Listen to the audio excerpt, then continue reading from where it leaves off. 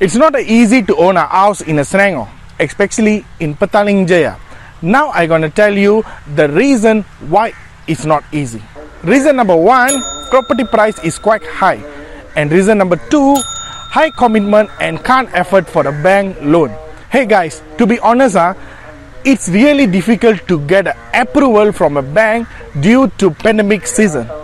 Watch till end and do share this video to your family and friends. Let me introduce and explain about LPHS unit.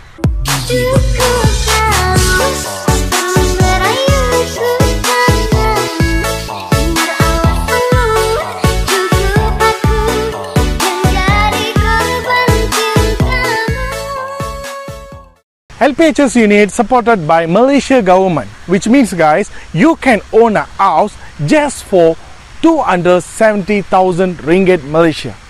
This unit comes with two rooms, two, one bath and one car park.